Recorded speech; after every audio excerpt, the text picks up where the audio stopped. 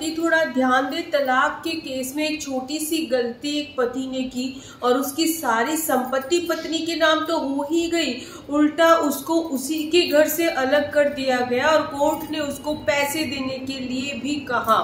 तो यहाँ पे अगर आप वो गलती कर देंगे तो आपके साथ भी ऐसा ही हो सकता है। इसीलिए मैं आपको ये बात ऑलरेडी बता रही हूँ कि ये गलती आज के बाद आप भविष्य में ना करें। नहीं तो ऑनरेबल सुप्रीम कोर्ट का जो जजमेंट है, वो आप पर बहुत हावी हो सकता है। अगर आपने ये गलती की, हो सकता है आप भी अपने घर से तो दूर जा ही जाए। उल्टा आपको पत्नी को बहुत सारे लाखों रुपए भी देने पड़े। क्या था वो जजमेंट पूरे फैक्ट केस के क्या थे? और क्या है वो बातें जो गलती आपको नहीं करनी है ताकि आपके साथ ऐसा ना हो? पूरी जानकारी आपको देंगे, लेकिन उससे पहले चैनल को ज़रूर सब्सक्राइब कीजिए। वीडियो को पूरा देखिए। गणपति बप्पा मौर्य। यहाँ पे ऑनरेबल सुप्रीम कोर्ट ने क्लियर किया है कि अगर कोई पति पत्नी के ऊपर झूठा केस लगा देता है, झूठा दावा कर सकता है, झूठी बातें कहता है, उससे सिर्फ़ तलाक लेने के लिए तो ऐसी हालत में अगर ये साबित हो गया कि पति ने सब झूठ बोला है तो पत्नी को पति की सारी संपत्ति का अधिकारी बना दिया जाएगा। आपको यहाँ पे ये क्लियर कर दे कि अगस्त 2024 का ही ये जजमेंट है, बहुत ही नया जजमेंट है ऑनरेबल सुप्रीम कोर्ट का। तो पहला ग्राउंड है क्रुअल्टी कई बार क्या होता है, पति लिख देता है कि क्रुअल्टी बेस पे मुझे तलाक चाहिए और इसने मेरे साथ ऐसा ऐसा किया है। तो आपको बता दू, यहाँ पे पति को वो बातें सारी साबित करनी होगी जो अपनी पिटिशन में उसने लिखी है।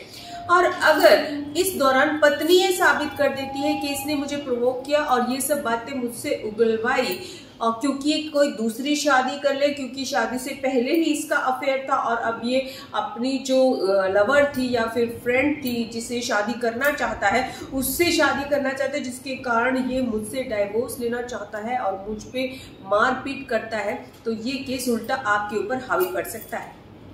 दूसरा जो ग्राउंड लिया जाता है वो होता है सेपरेशन अब यहाँ पे भी ऑनरेबल सुप्रीम कोर्ट ने क्लियर किया कि भाई ठीक है सेपरेशन ग्राउंड पे आप डाइवोर्स फ़ाइल कर तो दिए हो, लेकिन क्या उस सेपरेशन के दौरान आपने अपनी पत्नी को लाने की कोशिश की? सेक्शन नाइन का केस डाला। कितनी बार आप वहाँ पे गए? कितनी बार आपने ये कोशिश की कि आपकी पत्नी आपके घर आ जाए, आपका घर जुड़ा रहे? तो ये भी आपको साबित करना होगा। लेकिन अब आपके दिमाग में आएगा, भाई रूट के चली गई है। अब मैं उसको लेने जाऊँ, मैं ही बनाऊँ मेरे सारा कुछ? जी हाँ आपको करना होगा। नहीं तो ये केस आपके ऊपर उल्टा पड़ सकता है, क्योंकि सेपरेशन अगर साबित करना है तो आपको ये भी साबित करना होगा कि आपने इस दौरान पत्नी को लाने के लिए कितनी कोशिश की और फिर भी पत्नी नहीं आई। अगर आपने एक भी कोशिश नहीं की है तो सारा केस पलट सकता है। अब आपने एक और क्रूलिटी का ग्राउंड बना दिया कि इसने मुझे बच्चे से नहीं मिलने दीजिए दिया। तो यहाँ पे क्रुअल्टी तो बनता है कि आपके बच्चे से आपकी पत्नी ने आपको मिलने नहीं दिया। लेकिन यहाँ पे ऑनरेबल सुप्रीम कोर्ट का क्वेश्चन है कि आप कितनी बार उससे मिलने की कोशिश की बच्चों से? क्या उसका खर्चा पानी का खर्चा आपने उठाया या फिर उनको प्रोवाइड किया कि भाई ये आपका खर्चा पानी है, मैं आपको प्रोवाइड करता हूँ, मैं आपसे मिलना चाहता हूँ? कुछ ऐसा किया, लेकिन अगर आपने ऐसा कुछ भी नहीं किया है, सीधा कोर्ट में कह रहे हो कि भाई मेरे बच्चों से मुझे मिलने नहीं दिया और तीन चार साल हो गए ना तो आपने उनको खर्चा दिया है, ना उसकी कोई केयर की है तो हाँ ये ग्राउंड पे आप पे उल्टा पड़ सकता है। कई बार होता क्या है कि लड़का तलाक चाहता है, लेकिन लड़के के घर वाले चाहते हैं कि भाई नहीं, हम तो वही बहू रखेंगे। इस केस में भी सेम ऐसा ही हुआ है।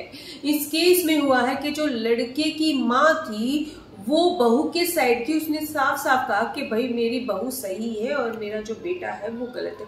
तो अगर आपके घर वाले ही आपकी पत्नी के साइड हैं।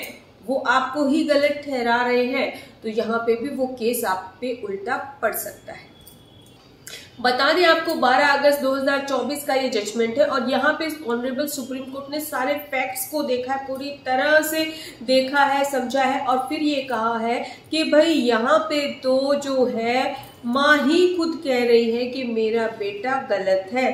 तो हम यहाँ पे पत्नी को किस तरह से गलत ठहरा सकते हैं?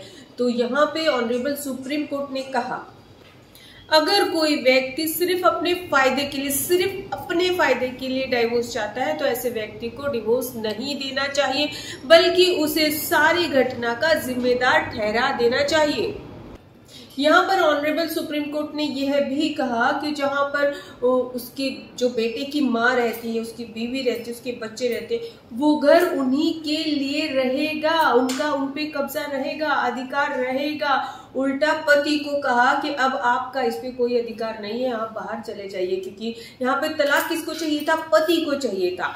तो पति को ही घर से बाहर कर दिया, बीवी का, बच्चों का, उसकी जो माँ थी, यानी कि पति की जो माँ थी और पत्नी की सास थी, वो उसके घर में रहेंगे ऑनरेबल सुप्रीम कोर्ट ने आखिर में एक और मज़ेदार बात कही कि ऊपर लिखी गई शर्तें, यानी कि जो भी शर्तें लगाई गई हैं डिवोर्स के लिए, अगर उनका पालन नहीं किया गया तो इस तलाक की डिग्री को कैंसिल कर दिया जाएगा। तो यहाँ पे आपको एक बात तो क्लियर हो गई होगी कि आप अपने केस में अगर आप ट्वेल्टी के बेस पे सेपरेशन के बेस पे केस लड़ रहे हैं और डाइवोर्स चाहते हैं तो ये गलतियाँ बिल्कुल नहीं करनी है। केस डिटेल आपको स्क्रीन पर दिखाई दे रही है ताकि आपको समझ में आ जाए कि क्लियरिटी क्या है और कौन सा केस था। लेकिन फिर भी अगर आपका केस चल रहा है या आप केस करना चाहते हैं और आप हमसे कोई क्वारी चाहते हैं तो आप हमसे व्हाट्सएप नंबर पर अपॉइंटमेंट लेकर बात कर सकते हैं। इसी तरह से हमारा सहयोग दीजिएगा। जय हिंद।